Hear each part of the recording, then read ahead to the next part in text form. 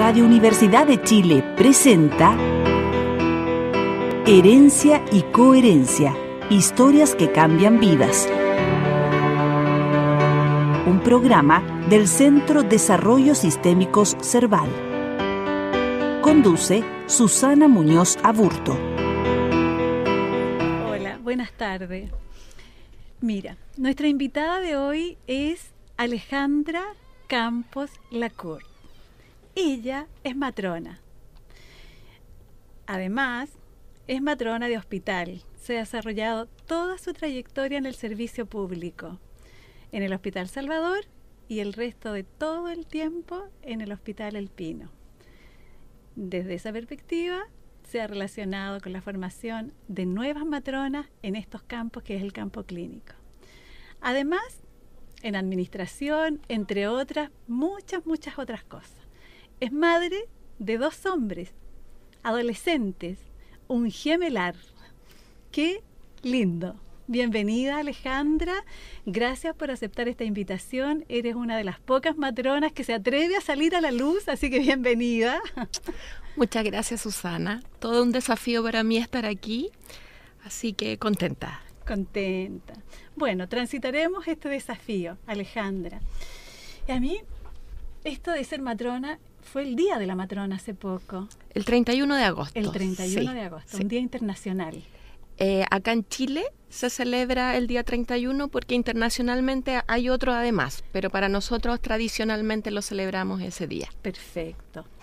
Eh, Alejandra, y básicamente desde este ser matrona, yo rápidamente quiero preguntarte, Alejandra, ¿qué me puedes hablar de tu vida intrauterina? Allá donde comienza todo, ¿no? Donde comienza todo.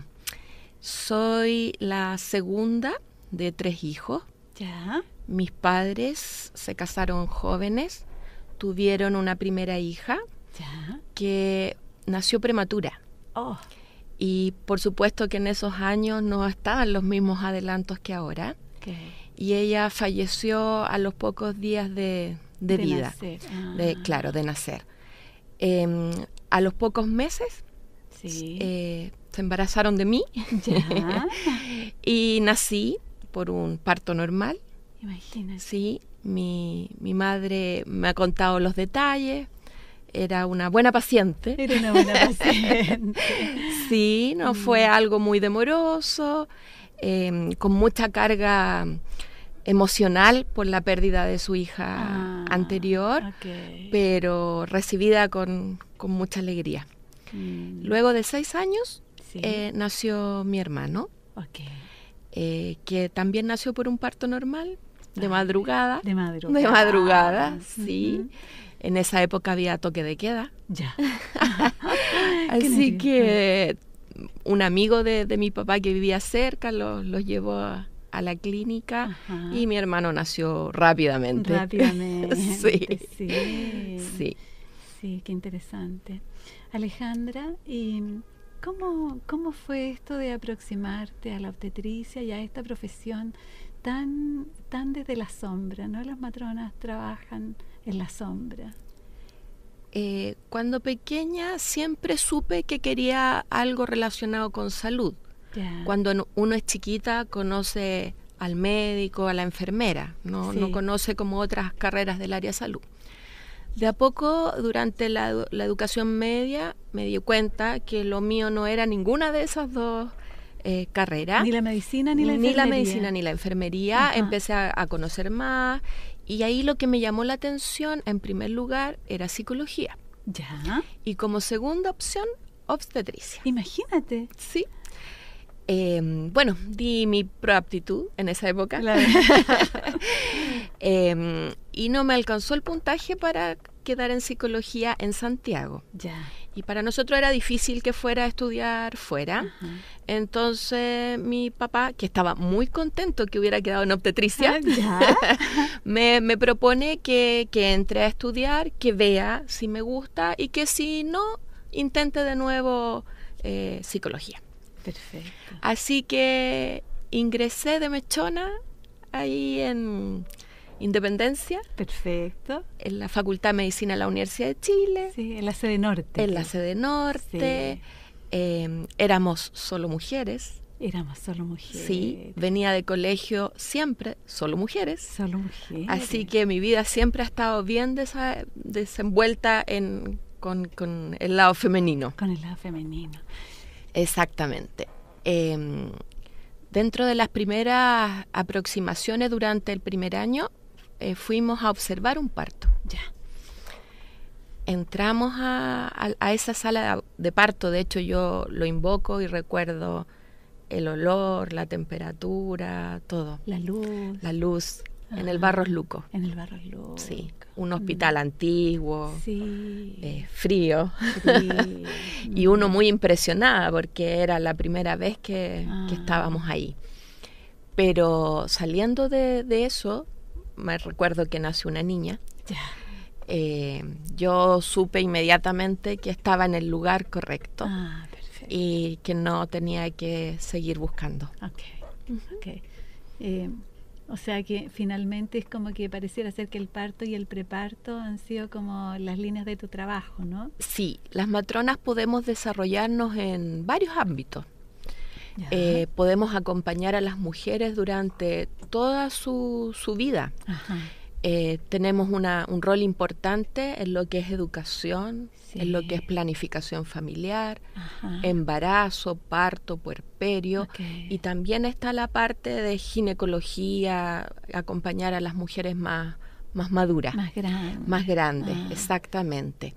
Eh, dentro de la carrera uno va viendo las distintas dimensiones. Eh, neonatología también es una parte importante, el atender a los recién nacidos. A los más desvalidos. A los más desvalidos, claro. Y, y, de a poco yo me fui dando cuenta en lo, en lo teórico y en las prácticas que a mí lo que más me, me entusiasmaba era el tema de, del, del, proceso de nacer. Del proceso de nacer. Sí. Mm. En la época en que yo me recibí. en esa época nosotros estudiamos cuatro años. Claro. Así que salí muy joven de, la universidad. Eh, recuerdo que no, no, había mucho trabajo. Estaban difíciles las, las oportunidades. Y me ofrecieron inmediatamente un cargo en un consultorio. Ya. Ya, que quedaba cerca de mi casa. Imagínate. Eh, entonces era una oportunidad muy buena, pero yo sabía que no era lo que yo quería. Exactamente.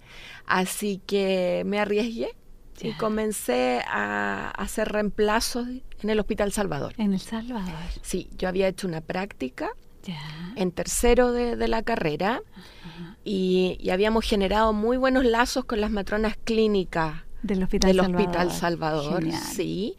Así que me llamaron inmediatamente para hacer un reemplazo. De hecho, empecé a trabajar días antes de dar el examen de grado. Oh, Así que antes de titularse. Exacto, antes de titularme me empecé a trabajar el 2 de enero Perfecto. y di mi examen de grado el 6 de enero. Imagínate. Y ahí el, sistema era ir haciendo reemplazos, haciendo reemplazos, hasta que hubiera una oportunidad de mayor de contrato. estabilidad. Okay.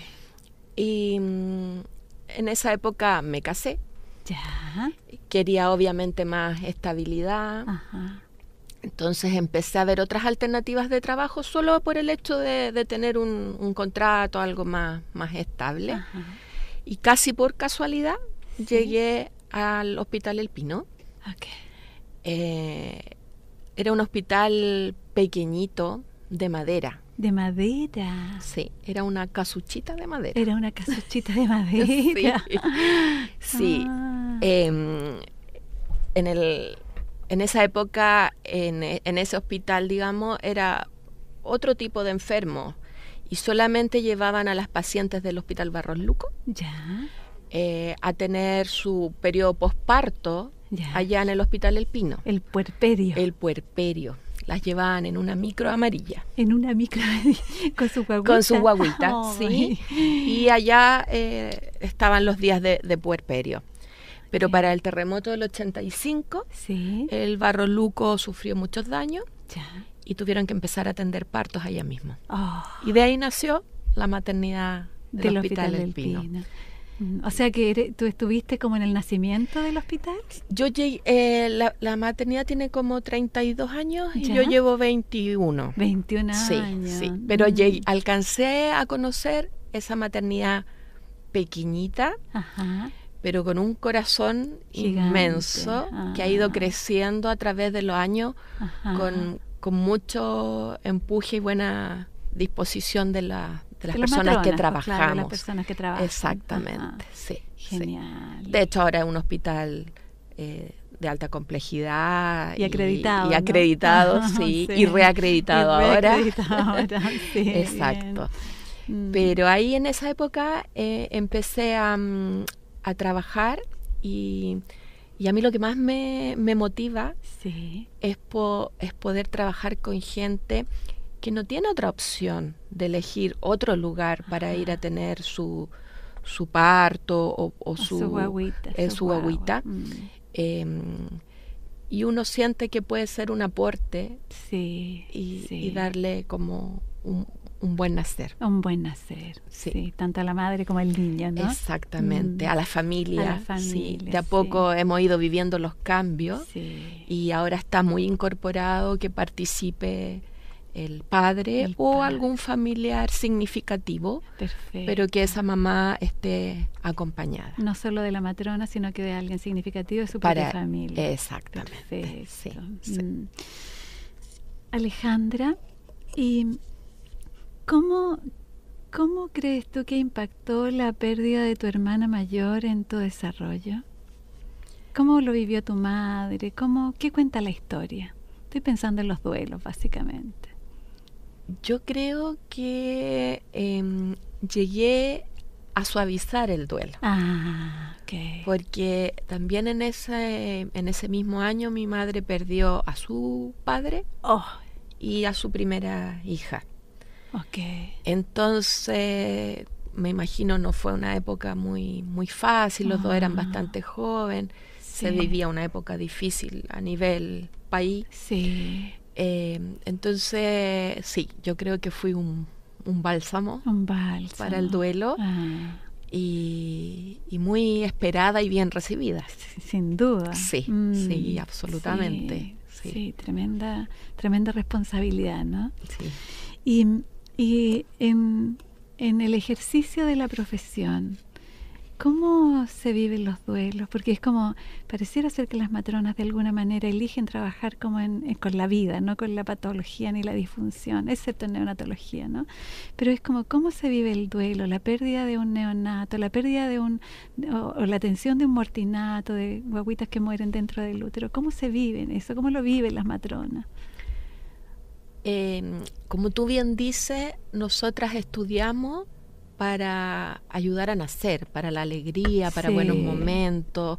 Eh, uno no espera que las cosas salgan mal. No, estamos preparadas para eso. Uno tiene siempre la intención de que todo marche bien, de que mm. este momento familiar sea un mm. evento y uno puede tener mucho trabajo, trabajar muchas horas seguidas, pero si todo resulta bien, uno mm. se siente tranquila y contenta. Gratificada. Gratificada. Mm. En los momentos que, me ha tocado vivir, eh, de atender pacientes que tienen su, su bebé muerto inútero y que hay que asistir el parto, o que hay partos que se complican y no tienen un buen resultado, eh, uno, a uno le duele, a uno le mm, afecta. Quizás tiene, tengo una postura más dura.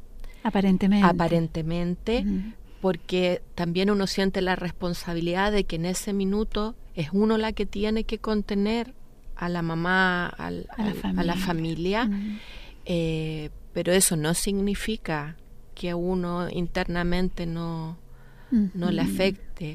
Uno se pone en el lugar del otro, eh, trata de buscar explicaciones, trata de ver si, si todo anduvo bien, si se hizo todo lo que se pudo. Pero independientemente de que algunas veces uno ha hecho todo lo posible, existe siempre la posibilidad de que algo no, no resulte bien. Pero, pero eso afecta, Afecta, sí, mm. Y uno, como digo, aparentemente es, dura y se va de un turno, pero en, la, en lo interno mm. igual vive un pequeño duelo. Mm, llorando por dentro. Exactamente, sí. sí. Alejandra, eh, y, esto de, eh, trabajar en la vida. ¿Cómo, ¿Cómo fue tu embarazo de un gemelar espontáneo? ¿Cómo fue? ¿Qué pasó? Eh, como buena matrona. Como buena matrona. Como buena matrona no fue fácil. Exacto. Em, al principio del matrimonio, como me casé joven, no tenía inmediatamente intenciones de tener hijos, así que pasaron como tres años y recién ahí eh, nos pusimos, digamos, con la disposición de, tener bebé. Eh, me embaracé una primera vez, mm, relativamente fácil, pero em, al segundo, tercer mes tuve lo que es un aborto retenido, que significa que el embrión no siguió desarrollándose. Y ese, ese primer evento lo viví con tranquilidad. Uno eh, objetivamente, científicamente sabe que esas cosas pueden pasar. Y además que la naturaleza es sabia. Cuando pasan estos eventos es porque algo no viene bien. Algo no estaba bien. Y la naturaleza hace su propia ah. selección natural. Okay. Así que eso fue al eh, enero de, un año. Lo tomamos con tranquilidad, seguimos haciendo nuestra vida. Siempre he sido muy inquieta. Eh, trabajar mucho, no solo los turnos, sino que, que atendía partos, que me levantaba a toda hora, u otras actividades, pero nunca es una sola cosa. Nunca una sola cosa. Sí. Así que mm. siguió la vida, después volvimos a intentarlo, esa vez nos demoramos un poco más de tiempo y ese mismo año, en diciembre, eh, ocurrió lo mismo. Tuve un segundo embarazo y que al segundo o tercer mes volvió a, a quedar hasta ahí. Imagínate. Exactamente. Ahí fue duro. Duro. Duro. Vino la angustia, el cuestionamiento de que quizás nunca iba a poder ser madre. Mm, ya. Eh, lo, quería eh, profundamente. Entonces uno empieza a ver todas las, opciones. Eh, sin intentarlo de nuevo. Hay algo a lo mejor que no anda bien, que está fallando a uno también se le pasa por la cabeza qué va a pasar si no puedo tener hijos propios. Existe la, la opción de, de, adoptar, que es una opción también muy válida, muy válida y, valiente. Y valiente, sí. Eh, sí, ese, ese duelo fue más, más duro, más profundo. Eh, dejamos pasar otro poco de tiempo y, y junto a mi médico vimos las opciones, digamos, que mm, algunos exámenes de salud y dijimos, bueno, o sea, tú te embarazas, ese no es el problema. Ese no es el problema. pero necesitamos óvulos de mejor calidad. Ya. Entonces hicimos una estimulación ovárica. Ya. Y un seguimiento folicular. ¿Qué significa eso, por favor, para nuestros radioescuchas? ¿Qué es una estimulación ovárica? Claro, utilicé medicamentos en que hacen funcionar todo el engranaje de hormonas ya. eh, para tener mejores mejores óvulos, Es, como, claro. es como darle vitamina a los óvulos. Claro.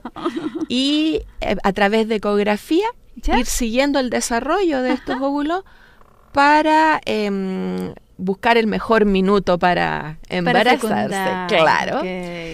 Eh, así que eso lo hicimos. El resto fue natural ¿Ya?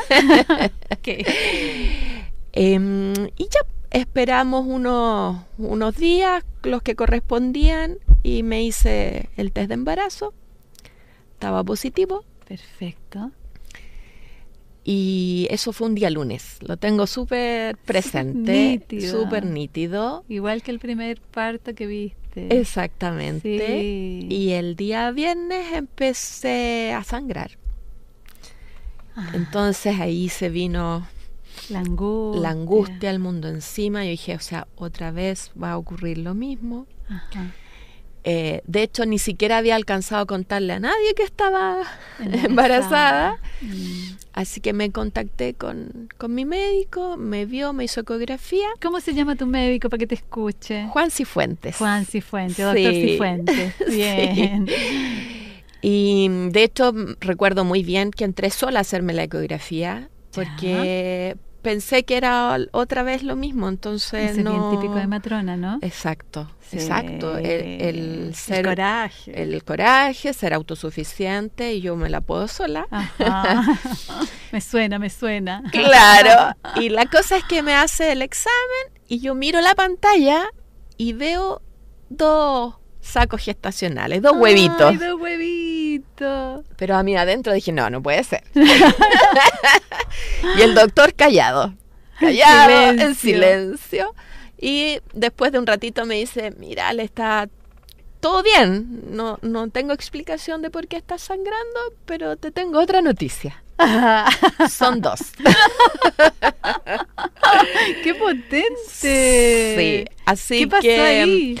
Alegría por un lado, pero mucha angustia por otro, porque independiente de que no sabíamos la causa, algo había de que no, no andaba algo bien. Así que con, con, tranquilidad me fui a la casa, reposo absoluto. Ya. Y empollé. Empollé. Sí, empollé a mis hijos hasta las 34 semanas. 34 semanas. Sí. En cama. Sí. Estuve hasta las 20 semanas en reposo absoluto, en cama. Ahí anduve como mejor. De hecho, íbamos a ver la posibilidad de volver a trabajar. Y la verdad que no, las cosas no, no andaban bien. Había amenaza de, en ese minuto de aborto, después de parto prematuro. Así que literalmente los empollé. Los empollé. Sí, solo me levanté a los controles de embarazo. Ya. Eh, y viví, digamos, todo mi proceso en, en la casa, en, en, el hogar. En el hogar. Exacto, ah. exacto. Es como si los dos embriones anteriores hubiesen, pero sintetizado en este gemelar, ¿no? Como potente. Eh, sí. ¿Qué dijo la familia? La familia, tu marido en ese rato y la familia de origen.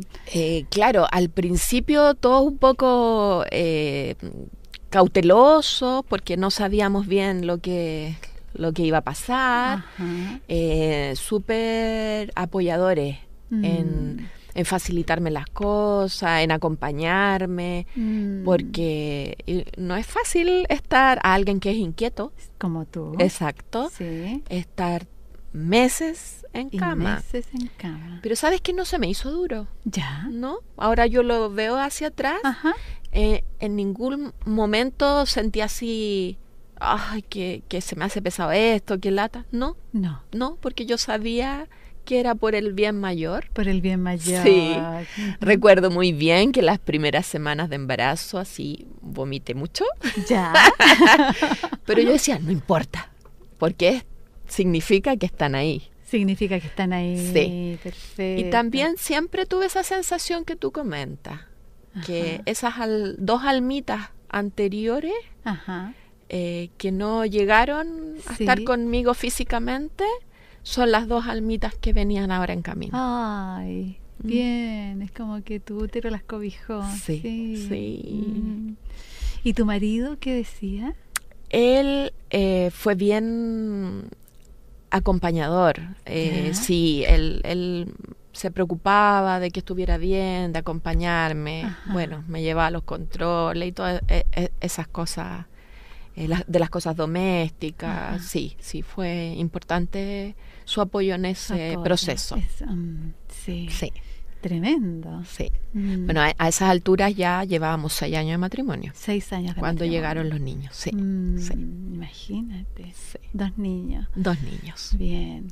Alejandra, eh, hemos recorrido la primera parte de nuestro programa, así que en este momento iremos a una pausa. Vale.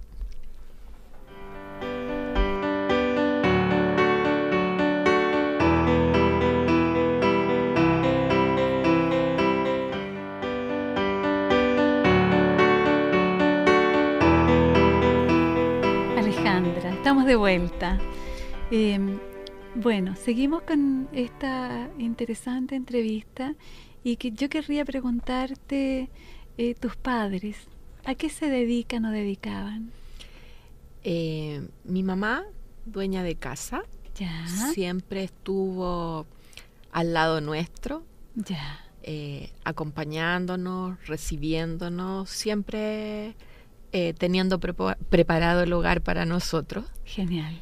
Y mi padre, eh, él hizo carrera y siempre trabajó, ya jubiló hace un par de años, Ya. pero siempre trabajó en el Banco Estado. Perfecto. Sí.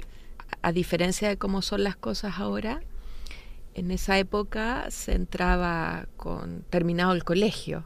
Claro. Exactamente. sí. Y él de a poco fue haciendo su, su, Su carrera. carrera, Mm.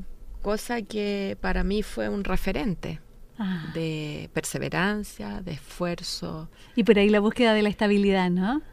Sí. Absolutamente. Ah. sí. Sí, Sí. interesante. Y mm, tu hermana mayor, ¿cómo se llamaba? Liliana, igual que mi, mi mamá. Ya. ¿Y tu hermano? Carlos, igual que mi papá. ok. ¿Y Alejandra, de dónde viene? Es el segundo nombre de mi papá El segundo nombre de tu papá. y llevo también el segundo nombre de mi mamá. Ok, imagínate. No eran muy originales para los nombres. O sea, a propósito de la herencia, ¿no? Claro. O sea, genial. sí, Sí, importante. ¿Y tus hijos cómo se llaman? ¿Cuál es el nombre? Mi hijo, eh, el que nació primero, por lo tanto legalmente es el hijo mayor. ¿Y parto normal? No, fue, fue una cesárea. Fue una Sí, cesárea. Sí. Eh, Nicolás Alonso Ya. y el segundo, Álvaro Francisco. Ay, Álvaro. Francisco. Sí. Puedes aprovechar de saludarlo. Un besito a ellos que los amo con el corazón. Ay, bien. Alejandra, ¿y cómo fue la cesárea? ¿Cómo llegaste a término de este embarazo gemelar? Bueno, estuvimos todo el tiempo en ascuas. Era, yo me movía, contracción. Ok. Estuve incluso con la cama levantada los pies con respecto a la cabeza, digamos, Sí. las últimas 12 semanas más o menos. Ya. Eh, y con nuestro, con mi doctor habíamos conversado de intentar un, un parto vaginal, Ya. porque estaban los dos bebés de cabeza. Ok. Y dos días antes del parto, tres días antes del parto, tuve control y le comento, ¿sabes qué? Yo creo que, que uno de los dos Sí. se cambió de posición por, por cómo se movía. Ya. Y exactamente Álvaro, el segundo, Ajá. en vez de estar de cabeza, estaba de nalgas. Ah. Lo que cambiaba la, la conducta. Sí. Así que ahí el, el doctor me dice, cuando empieces con contracciones, me avisas al tiro, porque como todo este proceso siempre fue así, yo ya tenía, hacía varias semanas dilatación. Entonces los tenía ahí Como esperando su esperando madurez. su madurez. Sí, Mm. sí. Así que así empecé con trabajo de parto y me, me hicieron la cesárea un día sábado en la mañana. Un día sábado en la mañana. Sí. Sí, Sí. tremendo. Mm. Y, o sea, es como, es, es interesante esto, como de, eh, uno sabe cómo se mueven sus guaguas. Sí, Uno sí, sabe. uno es capaz de darse cuenta Uno de, se da cuenta. de, de muchas, muchas cosas. A propósito de la relación con el cuerpo, las mujeres sabemos. Exactamente. Sí, Ajá. sí, son, si intentamos y podemos contactarnos con nosotras mismas, Sí. somos capaces de darnos cuenta de, Sí, de, lo que mucha- necesitamos. exactamente de lo que necesitamos. Sí. Igual ahí también el vivir la maternidad me sirvió para entender muchas cosas Ajá. que tenían mis pacientes que, que yo no había vivido. Ajá. Eh, como por ejemplo, siempre me ha llamado mucho la atención el posparto. ¿Ya? Uno está en un estado de éxtasis eh, en que no entiende mucho. La verdad es la felicidad es tanta Ajá. que como que no estás usando la Sí. parte cerebral. Claro. Es como lo Eh, cognitivo se queda afuera, Exactamente, sí, No, como que uno no. estuviera en trance. en trance en las nubes, Sí. recuerdo muy bien que mis hijos nacieron prematuros a las 34 semanas, entonces quedaron hospitalizados. Y sabía que uno estaba con, desarrollando dificultad respiratoria, estaba en la UCI, y el otro un poquito más estable. Ya. O sea, si yo lo pienso como matrona, como... Sí, ¿Cierto? Como... Eh, sé que es algo que es de cuidado. Sí. Pero como mamá, no, estaba tan feliz como que no dimensionaba. sí, es como muy extraña la sensación. es como que de alguna manera tenías como una conexión con ellos que sabías. Exacto, y ah. como que sabía que iba a estar todo bien. Que todo iba a estar bien. Sí. Ok. ¿Y cómo estuvo todo? Todo bien. Todo bien. Eh, no fue muy rápido. Estuvieron hospitalizados casi un mes, ya. los dos.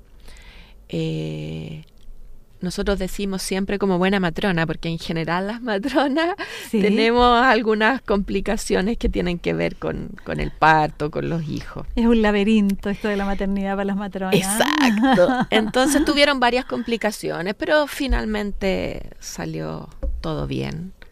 Sí. Sí. Mm. ¿Y mm, cómo, de qué modo puedes como resonar con las pacientes? Es como, ¿hay alguna, alguna eh, paciente que se te haga presente con esto de, estas historias de maternidades? Sí, la verdad es que uno va recordando y tienes algunos hitos que te van quedando marcados. Por ejemplo, tengo muy claro el primer parto que, que asistí. Ya. Sí.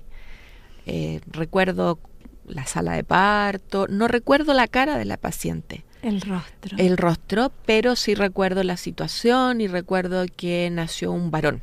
Ya, como la vivencia. Exactamente. Ah. Eso lo tengo muy, muy marcado. El primer parto. Yo creo que todas las matronas se deben acordar de su primer parto. Exactamente. Sí, es, que es una sensación del poder ayudar. Eh, que te deja muy satisfecha, muy, muy contenta. Sí. Eh, por muchos años, además de, de, tener mi labor en el servicio público, que es mi trabajo estable, sí. Eh, he sido parte de equipos médicos. Ok. Eh, con uno de mis médicos llevo trabajando 20 años. De largo, una relación muy estable. O sea, de alto nivel de lealtad. Exactamente, nos hemos aprendido a, a conocer y a aceptar las mañas de cada de uno. Cada uno. Sí, sí. Eh, entonces eh, he ido a atender parto a otros lugares, clínica, en el mismo hospital. Em, hice en su consulta hice educación a pacientes y de ahí me acuerdo una muy muy bien eh, porque ella se embarazó después de haber perdido a su hijo Em, su pequeño, alrededor de los 10 años, falleció por un cáncer. Un duelo gigante. Un duelo gigante. Y, yo la conocí durante el embarazo de su siguiente hijo. Entonces tuvimos mucha opción de, conversar, de, de, que me contara algunas cosas. Establecer un vínculo. Establecer un vínculo. la segunda opción, la psicología, ¿no? Exactamente. Y que mm en, el servicio público, digamos, si tú trabajas en un hospital, no, no tienes esa opción, porque conoces la paciente cuando ya llega a, a, tener su bebé. En cambio, a, ella yo la conocí antes. Acompañándola en y el proceso. en el proceso, y pudimos... Y me, me contó muchas cosas de, de su pequeño, había sido bien duro el tema, pero a su vez muy feliz la vida que habían tenido juntos. Ah, o sea, Muerte y resurrección. Exacto. De hecho, su pequeño le había dicho que ella tenía que rehacer su vida, que ella tenía que tener más hijos oh. y que él iba a venir en un, en un nuevo embarazo. Mm, imagina. Su pequeñito, imagínate, 10 años. Eh, y bueno, tuvimos un trabajo de parto impecable, ningún problema entramos a parto, tuvo un parto súper fluido y sale un bebé varón. Ya. Em, que sin explicación eh, se lo tuvieron que llevar inmediatamente porque no, no reaccionaba, no, no respiraba. Ya. Y empiezan las maniobras de resucitación. Ok.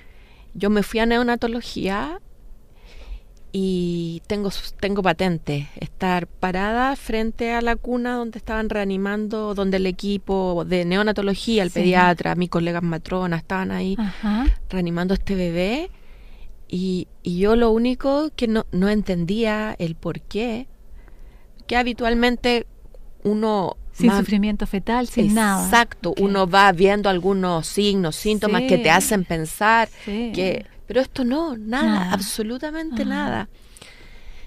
Y la paciente me había comentado que su hijo le había dejado el nombre que le tenía que poner a su, su o hermano. sea, un vínculo súper potente. Y a mí de la nada, de la nada, se me ocurre pensar y decir ya a- a- al universo, digamos, Sí. eh, ya no recuerdo el nombre exactamente, pero Gabriel, por ejemplo, Ajá. es hora de, de que tomes tu nuevo cuerpo. Ok. Y, y lo hice, lo hice sin entender mucho el por qué. Espontáneamente. espontáneamente. Y bueno, la cosa es que el bebé empezó a, a evolucionar bien. A los dos días se fue de alta con su madre. Ya. Le hicieron igual un seguimiento, un estudio, porque había estado algunos minutos, digamos, Sin oxígeno. sin oxígeno, en paro cardiorrespiratorio. Y después yo he visto a su madre, le atendí un parto años después, y el pequeño, bien Impecable. inexplicable lo que ocurrió en ese Ah. minuto. Mm, es como digno de parteras, ¿no? Sí, el Sí, misterio. El misterio. que uno puede tener cosas objetivas, a lo mejor estudiar mucho, saber mucho de, de fisiología, pero hay cosas que no, que no podemos entender. Es un misterio, Sí, ¿cierto? El misterio de la maternidad. exacto. Perfecto. Sí, qué profundo. Yo creo que los hospitales están llenos de estas historias. Eh, claro, esta yo la tengo patente Nítida. porque Ajá. la viví muy, muy cercanamente, Sí. pero claro que hay muchas... Sí, ¿cierto? Sí, Mm. sí. ¿Y cómo es la relación entre matronas? ¿Se comparten estas cosas? ¿Se viven? ¿Cómo se viven? Eh, a ver, como te comenté, yo estudié en una escuela de puras mujeres. Sí. pero eh, en esa época habían otras escuelas y de a poco se han ha ido abriendo otras escuelas en que incorpora al colega matrón, Al colega matrón. lo que encuentro que es genial. ¿Cierto? Sí, porque mucho estrógeno junto no, no hace la cosa fácil. claro, mucha hormona femenina junta, es como complejidad. Así como, Eh, sí, sí. Mm. Eh, en general yo creo que nos distinguimos por ser bastante independientes, Autónoma. ajá. autosuficientes, Sí, sí, sí. em, por nuestra acto de acción, o sea, nuestro ámbito de acción, eh, estamos enfrentadas en, en varias oportunidades a tomar decisiones rápidas. Claro. Entonces uno se, se acostumbra a, de- a dirigir el tránsito. A dirigir el tránsito a la urgencia, ¿no? Como, a la urgencia, claro, Sí. que es la parte que yo más conozco. Perfecto. Em, entonces uno va desarrollando esas habilidades Ajá. de tomar decisiones, de buscar soluciones, de que si no me resulta esto, rápidamente pienso en lo otro. Eh, entonces eso también nos hace ser un poco difíciles. Difíciles. Sí. Como difíciles de, de detenerse, de procesar, de registrar, de, De elaborar. somos, claro, nos nace y somos muy buenas para hacer cosas, Ajá. para atender la paciente, para hacer procedimiento, pero no nos gusta mucho y no desarrollamos mucho la parte de, de documentar, de registrar, de planificar a más largo tiempo. Eso no nos cuesta más, lo hemos tenido que ir desarrollando Perfecto. eh, de a poco. ¿Y cuál ha sido el rol de los masculinos, de los, de los colegas matrones? Qué interesante. Sí, sí, Sí. yo creo que ellos eh, suavizan nuestra nuestra relación de grupo femenino. Imagínate. Sí. Ah, Em, a mí me agrada mucho trabajar con, con hombres. Demás, Sí. Eh, siento que tenemos características distintas. Distinta. distintas. Ellos son más relajados, Mm, Ya. concretos. Ok. No se hacen problemas por cualquier cosa pequeña. En ok. cambio, las mujeres enganchamos y vamos ahí más a la pelea, Más combativa. más como- combativa. En Ujú. cambio, ellos no. Son Ellos- capaces como de jerarquizar. Y de nivelar, y de nivelar. claro, Genial. sí, sí. Sí, bonito. Mm, Y, y tengo colegas que son muy buenos profesionales. sin sí, duda. sin duda. Mm. Alejandra, y no puedo no preguntarte sobre la muerte, sobre la vivencia que significa, porque estamos hablando como de la diada madre-hijo, ¿no? Desde el vínculo, la incorporación de los hombres como matrones y la, la incorporación de la familia a la sala de parto, como el padre de la criatura o alguien significativo. ¿Cómo se ha vivido eso? ¿Cómo...?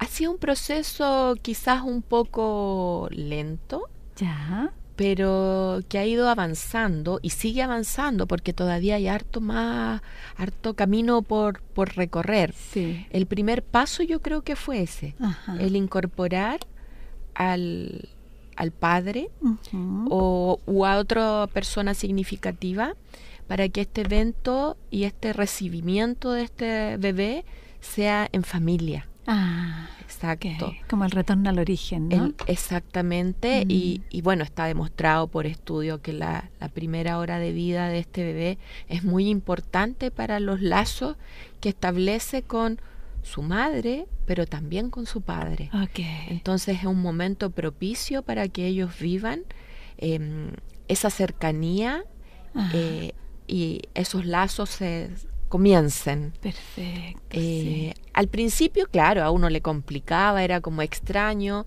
que, que otra persona, además hombre, entrara a la sala de parto, porque era como generalmente el personal de las maternidades es preferentemente femenino. Sí, cierto.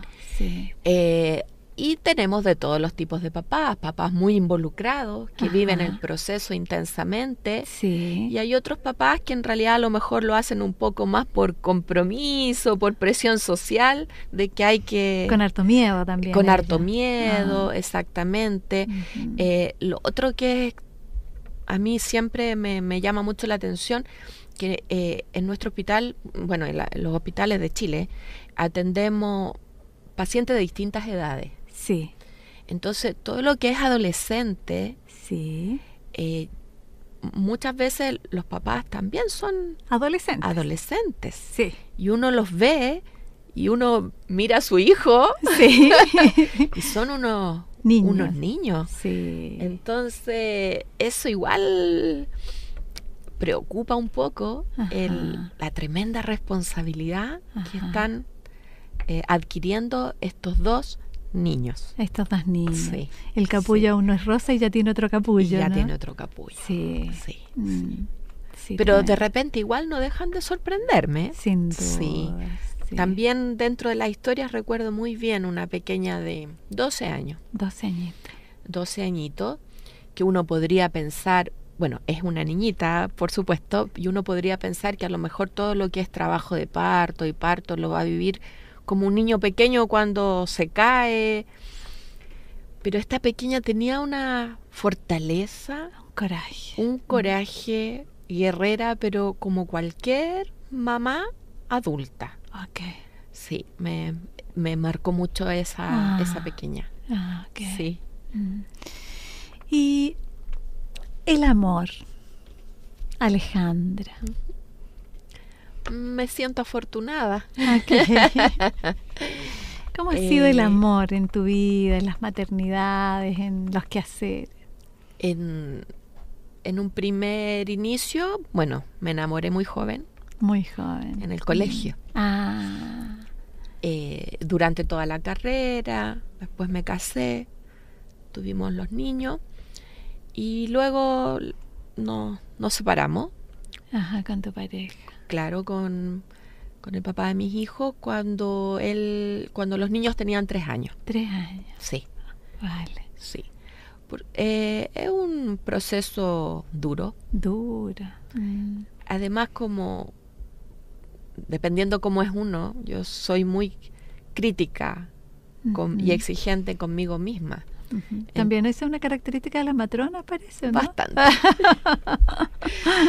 Entonces, el aceptar de que uno tuvo un fracaso, independiente que ese fracaso me dejó lo, lo más importante de mi vida, que son mis hijos, sí. pero uno igual lo vive también como, como eso. La vivencia de fracaso. Sí, viví un duelo largo. Claro. Largo. Pero de a poco siempre abierta a, a conocer o a tener una nueva oportunidad. Una nueva oportunidad. Tenía mi núcleo con mis dos pequeñitos, vivíamos los tres solos. Ya. Eh, y tuve siete años sola. Ok. Con, tus cachorros. Con los cachorros, exactamente. Eh, hasta que mm, me fui preparando en realidad. Mm, sí, sí, mentalmente como ya había vivido el duelo, me sentía en, en buen pie para iniciar otra relación. Ok. Fui decretando y deseando encontrar a mi compañero. Compañero de ruta. De ruta, exactamente. Y así fue. Y así en Una, en un hecho casual. Ya, sí. Entre, comillas, entre, comillas. claro. Nos cruzamos porque la verdad es que nos conocíamos desde chicos. Ya. Pero no, no nos habíamos, no éramos amigos ni nada. Y después de muchos años, porque como vivíamos más o menos cerca, nos veíamos así como de lejos, pero no más que eso. Y en ese minuto que nos encontramos, él me pregunta algo y cuando cruzamos nuestras miradas yo sentí que él era la persona indicada. Y estamos juntos. Y están juntos. sí, hace cinco años. Hace cinco años. Sí. Ah. ¿Cómo se llama? Mario. Mario. Sí. ok. Mm. Sí, ha sido una experiencia rica para los dos. Ajá. Porque además uno trae una experiencia previa. Vale. Y eso sirve para intentar no cometer errores que uno cometió en el pasado, para disfrutar cada momento bueno para el acompañarnos, el apapacharnos. El apapacharnos, el contenerse, sí. sí. Bien. Sí. Mm. Eh, y en ese sentido, eh, estaba pensando, Alejandra, esta, este estilo que tú me muestras de las matronas, que es como que a veces duermen, a veces no duermen, a veces existe como la posibilidad de descansar y la, la mayoría de las veces no existe. Es como si las matronas no descansaran, así como... Es una característica, de hecho, eh, por eso cuando uno ya estudia, eh, empieza a ver qué es lo que más te gusta. La, la, la, vida de matrona de atención primaria, de consultorio, es distinta a la vida de matrona de hospital. Sin duda. Exactamente, entonces uno ya va tomando sus opciones. Okay. Pero a las que nos gusta el tema de la urgencia, uno sabe y uno asume de que se descansa poco, de que se va a perder fiestas familiares, navidades, cumpleaños. Sí. Eh, y eso se compensa probablemente con, la vida que se hace adentro del hospital. Perfecto. La vida de, turno, de, del que si uno va a pasar una Navidad trabajando, eh, se organiza algo y, y, se compensa un poquito el no estar en su casa, pero estar con su segunda familia, si son turnos muy largos, son muchas horas juntas. Muchas horas juntas y juntos ahora con los colegas. con los colegas, sí. Sí, bienvenido a los colegas matrones. Absolutamente. Sí, bienvenido. Yo creo que es como que de alguna manera van como colocando como elementos que de verdad son carentes en los grupos de mujeres, ¿no? Sí. sí. Son un aporte. Son un aporte todo el rato. Em, entonces es como si la la vida intrahospitalaria funcionase como un segundo grupo familiar. Exactamente, y como una familia, con sus cosas buenas, con sus cosas sus malas. Luces y sombras. Exactamente, sí, sí, El de acompañarse, el de hacerse amistades, eh, el también disgustarse, volverse a, a, a buenar. A buenar, sí. sí, Alejandra, eh, primero agradecerte por esta entrevista, estamos en un momento de cierre. Yo creo que hoy día hemos, nos hemos adentrado a través de tu experiencia en, el misterio de nacer y morir, eh, además de los grupos y la red. Creo que es un infinito aporte. Así que muchas gracias y quedamos como en contacto por si existe una nueva oportunidad. Muchas gracias, Susana. Gracias. Radio Universidad de Chile presentó Herencia y Coherencia, historias que cambian vidas. Un programa del Centro Desarrollo Sistémicos Cerval.